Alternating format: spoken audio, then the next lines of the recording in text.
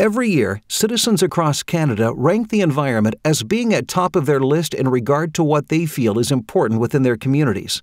This is the true story of how a mayor with a vision turned an otherwise toxic brownfield site into an economically productive eco industrial development through the clever use of incentives and land use planning tools.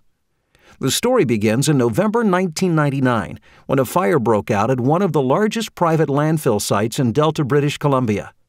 There was over 2 million cubic meters of demolition and construction waste feeding the fire, which is enough waste to fill 800 Olympic swimming pools. By the time the flames died down, a local state of emergency had been declared and a toxic plume of smoke had dispersed over the region. Worse still, ditches and groundwater had been contaminated for miles around.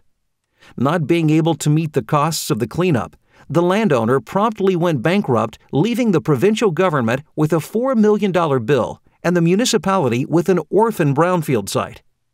As a result, this site sat dormant for nearly a decade, except it wasn't really dormant at all. Toxic leachate and landfill gas was seeping into a very sensitive environment close to the beautiful Fraser River and within meters of Burns Bog, a unique and protected wildlife area. This wasn't the only landfill, though. There were other privately owned sites that had turned the River Road East Corridor into a patchwork of wasteland, industrial storage, and truck parking. Developers weren't interested because the landfills were a major financial and physical impediment. No one wanted the liability. The situation was at a stalemate. The landfills continued to pollute the environment, but the costs of closing the sites, managing the pollution, and developing the land were more than the properties were worth. Not one to accept failure as a solution, Delta's Mayor Jackson had a vision for the area and started the Saving Our Industrial Lands initiative to kickstart investment in the area and promote sustainable industrial development. As a result, extensive consultation with government and private stakeholders began while economic incentives were put in place to encourage investors. Soon after, a planning concept was formulated based on best practices for eco industrial design and construction.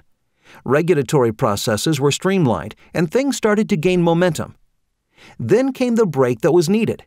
In 2009, construction began on the South Fraser Perimeter Road, which crosses through the south end of the landfill sites. Extensive engineering and environmental protection works would be undertaken by the provincial government, enabling Delta to piggyback on the works being undertaken by the Ministry of Transport and complete the closure works for the rest of the site. Delta presented a proposal to the owner of the adjacent land, which gave them Delta's land for free, together with a break on their property taxes if they agreed to close their landfill and relocate their business headquarters.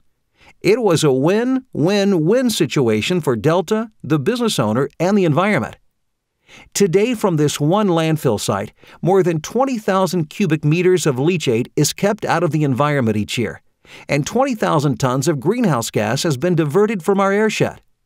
Burns Bog is protected, and a large area of wasteland has been transformed into productive industrial use with hundreds of jobs and green buildings.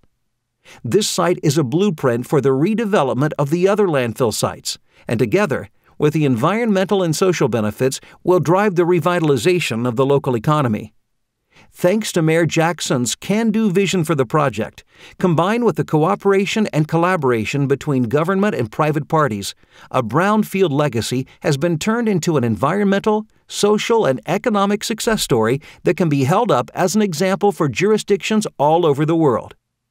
It makes you wonder what else can be achieved when one is willing to think outside of the box and collaborate with others and the environment in mind. As Margaret Mead once said, Never doubt that a small group of thoughtful, committed citizens can change the world. Indeed, it's the only thing that ever has.